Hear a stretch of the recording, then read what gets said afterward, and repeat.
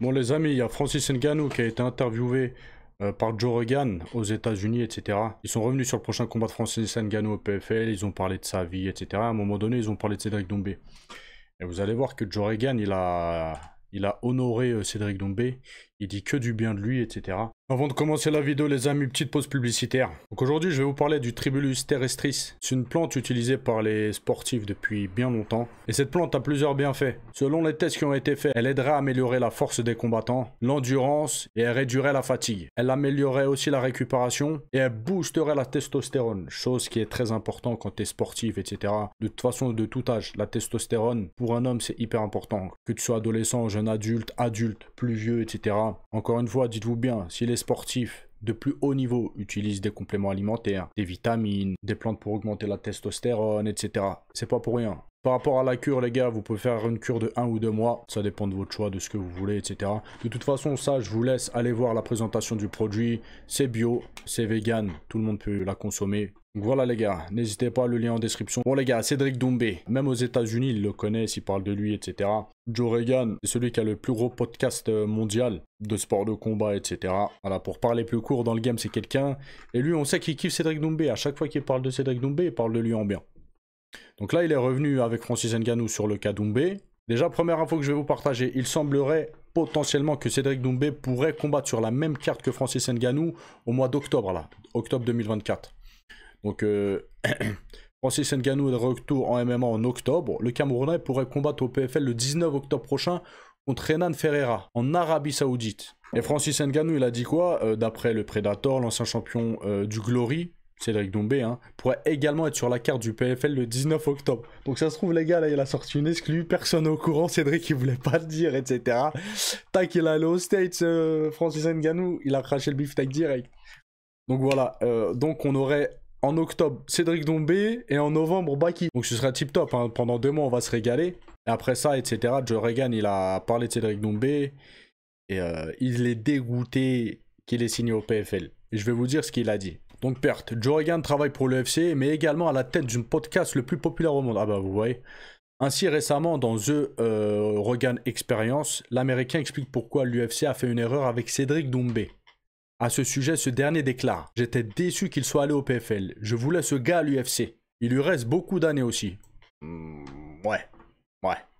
L'UFC, ils lui ont donné un mauvais contrat, c'est dommage. Ce gars pourrait être une superstar. Il est tellement amusant, en France c'est une superstar. Et cela pourrait être pareil aux États-Unis et dans le reste du monde. Il est si bon. Et il y va, hein. il, il y va. Il est l'un des meilleurs au monde. Et le fait qu'il soit au PFL, c'est génial pour le PFL, mais pour l'UFC, c'est une grosse perte. Ah ouais, là, comme vous pouvez voir, il kiffe Doumbé de fou. Il est l'un des meilleurs au monde.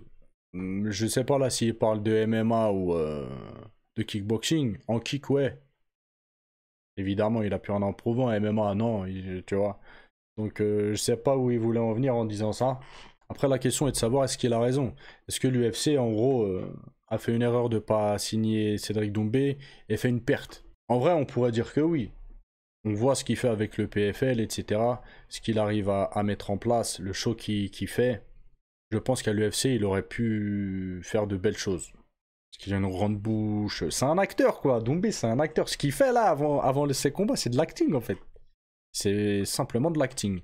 Donc oui, face à des, à des noms à l'UFC, il aurait pu faire des trucs de fou. Voilà, hein, peut-être un jour l'UFC ils vont se réveiller, ils vont lui dire ouais tiens Cédric, euh, ou peut-être il va y avoir aussi parce que vraiment il y a de plus en plus de discussions à ce sujet-là, c'est des combats inter interorganisation.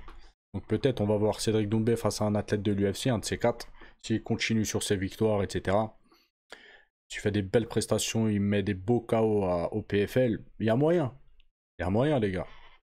En tout cas voilà, Francis Ngannou Joe euh, les deux kiffent Doumbé. On va lire les commentaires les gars, le divertissement. Zurel Bullocks, du coup Doumbé en décembre à Lyon ou octobre en Arabie Saoudite?